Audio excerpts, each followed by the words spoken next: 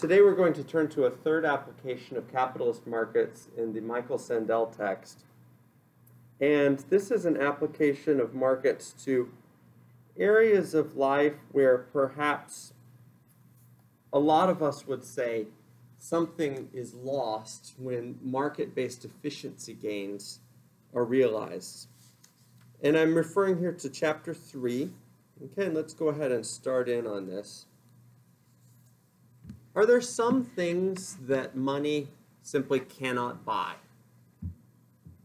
No matter how much is offered, no matter how well the system is set up, are there some things that money simply cannot buy? Sandel certainly thinks so. An example might be friendship. You can offer somebody money to spend time with you and to pretend to be your friend. I mean, heck, we have services now where bots can basically buy friends on Facebook to promote particular social media accounts. But genuine friendship is, by definition, something that arises out of free will and sincerity. And that's not something that can be bought. Another example that Sandel cites of something that can't be bought is awards, like an Academy Award or an MVP trophy uh, from baseball or a championship trophy from football or basketball. These things, of course, can be bought in one sense. The statuette that people get if they win an Oscar can be bought. But the fact of the award itself is not something that actually can be brought into the calculus of markets.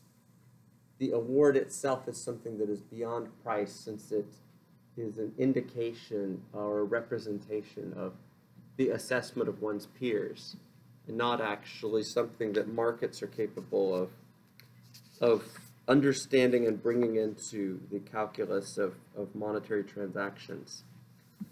There are other things, though, that perhaps money can't buy, but certainly people are trying to uh, make money buy it.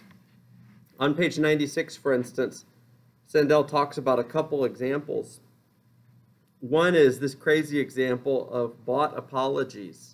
It's real hard for some people to apologize to each other. And so in 2001, the New York Times published a story about a company in China that offers an unusual service. If you need to apologize to someone, an estranged lover or business partner with whom you've had a falling out, and you can't quite bring yourself to do so in person, you can hire the Tianjin Apology Company to apologize on your behalf. Okay, a wild, a wild development in capitalist history, but certainly something that uh, makes sense from a, a, a monetary transaction perspective. A lot of people don't know what to say in situations like that, so they uh, choose the capitalist way out and hire someone else to say it for them. As I was reading that, I was actually thinking of the greeting card industry. So the greeting card industry probably exists because people aren't quite sure how to say things to each other, to their friends and loved ones. So they try to find a greeting card that captures what their sentiments are. Here's another example, though. Um, wedding toasts.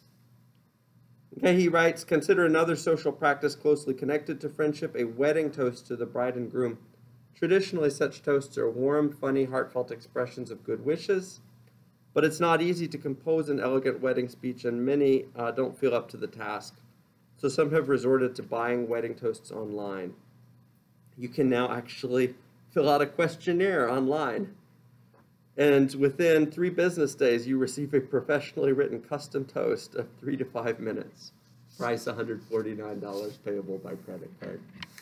Um, fascinating, fascinating as a use of capitalist markets.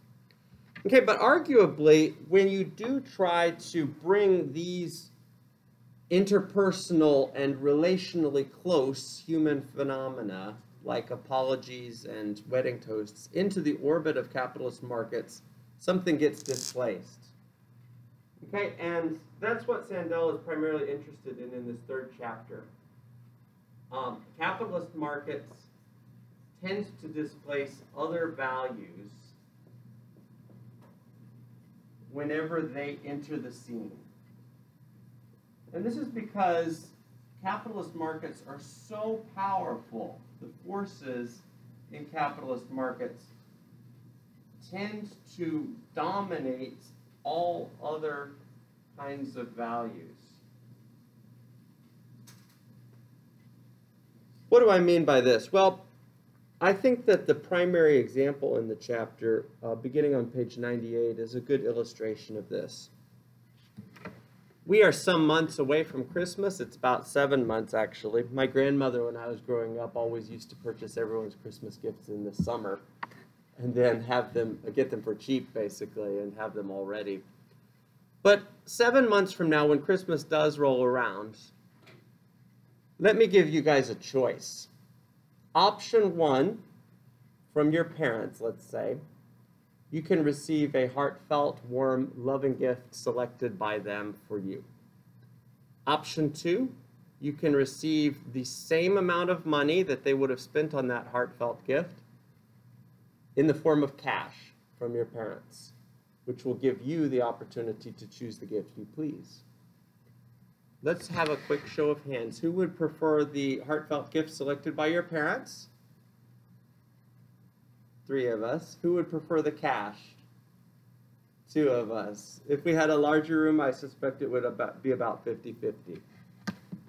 Those of you who just asserted that you'd rather have the heartfelt gift by your, from your parents, why is that the case? Saw three hands go up.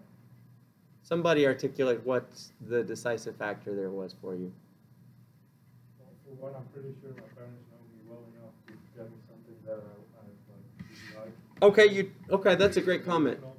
Mm-hmm. The gift that they like, they like put effort in it and they thought about what you would like. So there's like the emotional connection. Sure, sure, sure. So I think that's great. Jorg York highlighted two things that he likes about it. One is he thinks his parents know him well enough to be able to get him something that he'd appreciate. And the second is that the fact of the search by his parents for a heartfelt gift, mm, it indicates, it signals their love for him, their desire to do something for him, their desire to go out of their way, as it were, to do something beyond normal for his sake. And he appreciates that. That's an important part of gift giving for him. I suspect that for Tatiana and Brinkley, that was decisive as well. Is that correct? Okay. Um, those of us who chose cash, Chloe, I think you chose cash and Joaquin as well. Um, what are the advantages of cash, in your opinion, over this uh, heartfelt uh, gift that your parents have, have looked for for you? You. That's great, man. You can use cash for whatever you want. No one knows you better than you know yourself. That's actually the key to capitalist markets. No one knows you better than you know yourself. And Joaquin says you can use cash for whatever you want. Look, guys, I've received a lot of gifts over the years for Christmas and on other occasions. And a whole bunch of these gifts never or rarely get used. So January comes around and you intend to use the gift, but you don't really see space for it in your life. You leave it in the closet because you don't want to actually, you know, go through the shame of telling the gift giver that you returned it. Some of us just return it. Um, okay, most of us just we just waste it. It's, it's just not something that's valuable to us. And a lot of gifts end up being unused because it's inefficient. It's less efficient for others to give gifts to us than for us to give gifts to ourselves. Capitalist markets are successful precisely because they individualize people and they individualize companies. Let me describe what I mean by that. In a capitalist market, each individual is pitted against all the rest. Each company is pitted against all the rest. In a competitive enterprise, for scarce goods, in the case of the demand side, or for scarce customers, in the case of the supply side. And in capitalist markets, you are taught by the structural forces in the market to think of your own interests, to look out for your own interests, and to improve your own lot. And the idea, at least in theory, as originally articulated by founding theorists of capitalism like Adam Smith and David Ricardo, was that by pursuing our own interests, we actually bring about a better system as a whole. Adam Smith used the famous example of the butcher who cuts his meat. He says, The butcher does not give me a successful meat cutting experience out of the goodness of his heart. Rather, he gives me a successful meat cutting experience precisely because he wants to make money, because of his desire to improve his own lot, because of his self interest. Capitalist markets then structure our thinking to think of ourselves individualistically. America is perhaps the most individualistic country the world has ever seen. All the technologies move in that direction the individualized smartphone, the individualized laptop.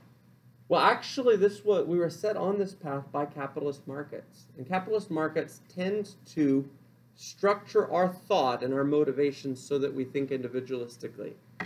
And they do really, really well in enterprises that uh, do well when people think as individuals. But capitalist markets perhaps don't do so well in enterprises that require people to think collectively or that, um, that tap into social connection or relational, emotional connection. Half of us said we'd prefer a heartfelt gift, even in spite of the inefficiency of a heartfelt gift. Because the heartfelt gift conveys something that the capitalist market can't capture. Yes, it's less efficient, but they went to the extra effort for me to find the gift. And that signals something of value that's beyond price. Okay, some people these days are um, just giving cash, but some people are trying to split the difference and give the gift card. it's a common trend these days. I've gotten a lot of them recently uh, for gifts for Christmas. The gift card is kind of flaky, I think, as a, a phenomenon. I don't want to ruin it the next time you get a gift card, but it's basically saying, look, here's cash with restrictions on it. so you don't get the efficiency gains since you can only use it in this particular store. But maybe it signals a little bit of love because I did go to the effort to obtain the gift card for you. I was trying to split the difference. Um, at any rate, though, Sandel's point in referencing this example is that actually um, what happens is that markets displace other kinds of values when they encounter things like gift giving and other phenomena. Okay, when cash is given, it displaces to some extent the value of love, care, and concern that the gift signals when it is a gift that someone has selected for you, has, has chosen. Uh, it's as if these values are incompatible and can't be there simultaneously. Cash to some feels cold, it feels hard, it feels unloving because the person didn't go to the effort to find something for you. For others, the efficiency gains that come with cash, the ability to do what you want with the money, outweigh other kinds of values and are more important. Okay, Sandel does cite a few other examples here. Uh, looking on page 109, I want to highlight that one. Okay, so the college admissions process is what he's talking about there. All of us now have gone through this process. It's a very opaque process. That is, it's full of twists and turns and dark alleys. Some people get into highly desirable schools and others don't. And the reasons why are all very complex. Sometimes people get in because of athletic prowess. Sometimes they get in because they are legacy students. That is, their parents went to an institution, so they get an easier time getting into that institution. Sometimes people get in on merit.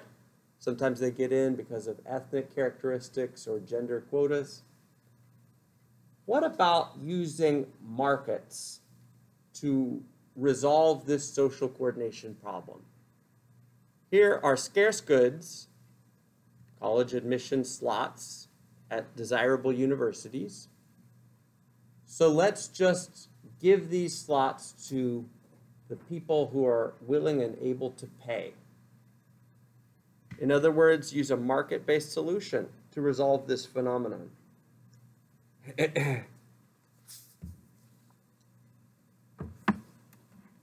what would be the advantages of doing that?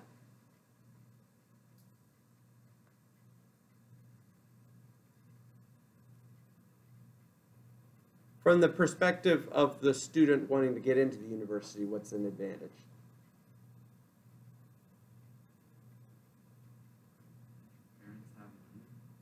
Yeah. If your parents have money, that opens the door to you to get into whatever elite school you want to get into. From the perspective of the universities, is this advantageous as well? Well, for sure. If you have slots to sell and these are in great demand, you can charge high prices for them. Is this mutually advantageous for everyone involved in the process? No, not at all, right? Because, of course, it discriminates against those who have merits but not means, discriminates against those who maybe have skills but can't pay. It's not something that everybody would appreciate. Okay, uh, on page 109, toward the bottom of the page, uh, we get into some of the objections to the values that get displaced by the market based solution in a college admission situation. College admission is a good that can be bought and sold provided the buying and selling takes place discreetly. By the way, actually, uh, college admissions is regularly bought and sold, uh, but it happens behind closed doors. It happens in the form of donations to universities. These donations secure spots for the people whose parents and wealthy benefactors donate on their behalf. Whether colleges and universities should do so is a further question. The idea of selling admission is open to two objections. One is about fairness, and the other is about corruption. The fairness objection says that admitting children of wealthy donors in exchange for a handsome donation to the college fund is unfair to applicants who lacked the good judgment to be born to affluent parents.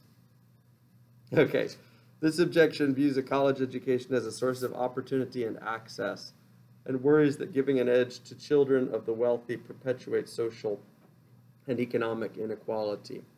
That's an objection that we've looked at before in other contexts.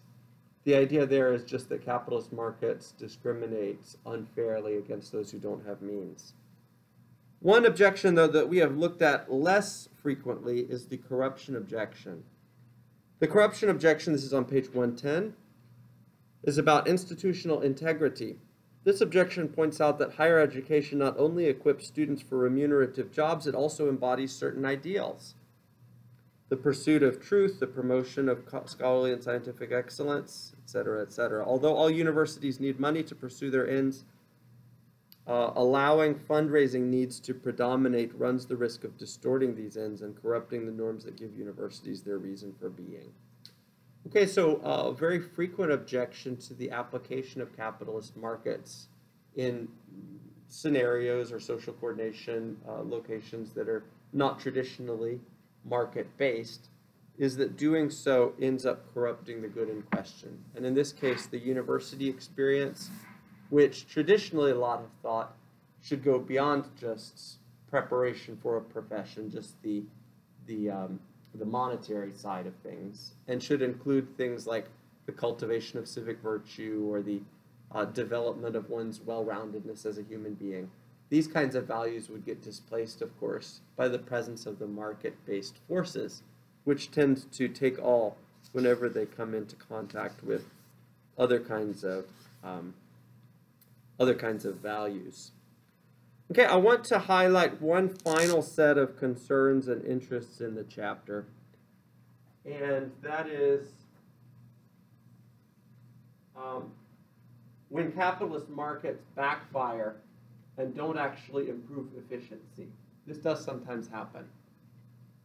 And it happens in a very narrow set of circumstances. Uh, the great, great majority of the time, let, me, let me stress this just so there's no confusion about this. The great majority of the time, capitalist markets dramatically improve efficiency because they place in the hands of individuals the ability to determine their own future, their own fate, their own choices. But capitalist markets sometimes actually reduce efficiency And the narrow set of circumstances in which they do sometimes reduce efficiency uh, primarily include circumstances where people are motivated by a sense of civic duty or by some sort of a common allegiance that goes beyond uh, just their own individual welfare. I'm thinking especially about this case that Sandel cites on page 114, uh, this nuclear waste sites case. So let me just read uh, the example in his own words. For years, Switzerland, the country of Switzerland, of course, in Europe, had been trying to find a place to store radioactive nuclear waste. Although the country relies heavily on nuclear energy, few communities wanted nuclear waste to reside in their midst. So they've got a, a coordination problem. The problem is where to store the toxic uh, waste products of their, uh, of their nuclear facilities. One location designated as a potential nuclear waste site was the small mountain village of Wolfenschiessen in central Switzerland. In 1993, shortly before a referendum on the issue, some economists surveyed the residents of the village asking whether they would vote to accept a nuclear waste repository in their community. So, this is a survey of whether the residents would be willing to accept the nuclear waste site in their vicinity. Although the facility was widely viewed as an undesirable addition to the neighborhood, a slim majority, about 51%, of the residents of the town of Wolfenschiessen said they would accept it. Apparently, their sense of civic duty outweighed their concern about the risks. But then the economists changed the question. They also surveyed using the following question Suppose Parliament proposed building the nuclear waste facility in your community and it offered to compensate each resident with an annual monetary payment.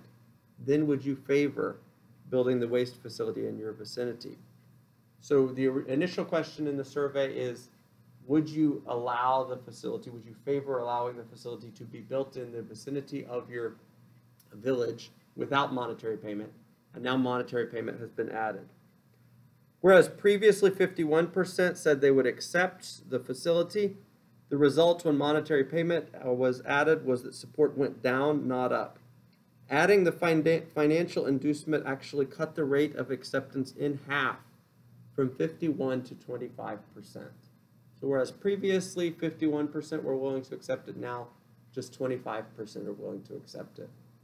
Can someone articulate for us precisely why 26% of the surveyed people changed their views and now became unwilling to support the nuclear waste facility, Brinkley? Because they thought, well, like, if they're trying to pay us, then obviously it's gonna be like detrimental to our health or something. It's like, if you're gonna pay me to do this, obviously, like, it's gonna be harming me in some way. Yeah, I totally think that that's part of it. Uh, generally speaking, if a deal is made even better by somebody when really they didn't have to, because you know enough people already were willing to take the deal, it does suggest ulterior motives and something isn't being disclosed properly. I definitely think that's part of the case. The part that Sandel focuses in on, although I think Brinkley's right, is that uh, people primarily were motivated by civic duty prior to the monetary payment. But when the monetary payment came into the equation, it became evident to them that this was a market based transaction and not a civic duty governed circumstance. And as such, Sandel says, their, um, their support went down. He later writes The residents stood firm even when offered yearly cash payments as high as $8,700 per person, well in excess of the median monthly income. Market forces tend to displace other values, and in this case, a sense, a sense of civic responsibility, obligation, or duty appears to be what was displaced. Um, and so sometimes actually markets undermine efficiency. It happens rarely, but it does happen in circumstances where people tend to be governed by a strong sense of collective fellow feeling. These days, in our individualistic times, there aren't many such circumstances, but they do, do still exist. They're just not real frequent. And maybe this nuclear waste site example was one such example. There's another example that Sandel highlights later on in the chapter about the same phenomenon. And this has to do with blood donation. Okay, um, let me just read his uh, words starting on page 122. Perhaps the best known illustration of markets crowding out non market norms is a classic study of blood donation. Um, the, the theorist doing the study compared the system of blood collection used in the United Kingdom, that is the British Isles, where all blood for transfusion is given by unpaid voluntary donors. He compared it with the system in the United States, where some blood is donated and some bought by commercial blood banks from people, typically the poor who are willing to sell their blood as a way of making money. So here we have two systems, one that's entirely donation based and one that's partly donation based and partly uh, market based, based on what people are willing to pay.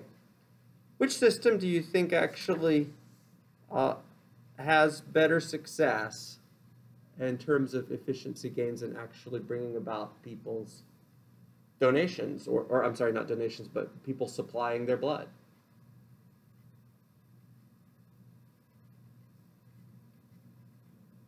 Okay, it's Sandel does uh, reference this implicitly, but it's actually primarily the um, the UK system. The more that it's just pure donation, the more efficient the system tends to operate. Probably because, in this case, again, people are motivated by a sense of civic duty or obligation as opposed to just a sense of cash transaction where they are primarily doing it for their own sake and see themselves as individuals over and against everyone else. Okay, so those are a couple of examples of ways in which markets displace other motives but do not actually provide us with efficiency gains when they do so. Uh, let me pause and see if there are any questions or comments about chapter 3. I had hoped to get to chapter 4 today, and I'm actually going to say a couple real quick things about chapter 4, but then I'm going to let you guys go five minutes early, so um, I won't spend too much time on it. Okay, um, the chapter 4 investigation is a look at uh, ways in which markets and market based forces have been applied to issues of life and death, which might initially seem kind of crass to us, but actually it's something that is all the time uh, a realistic uh, thing.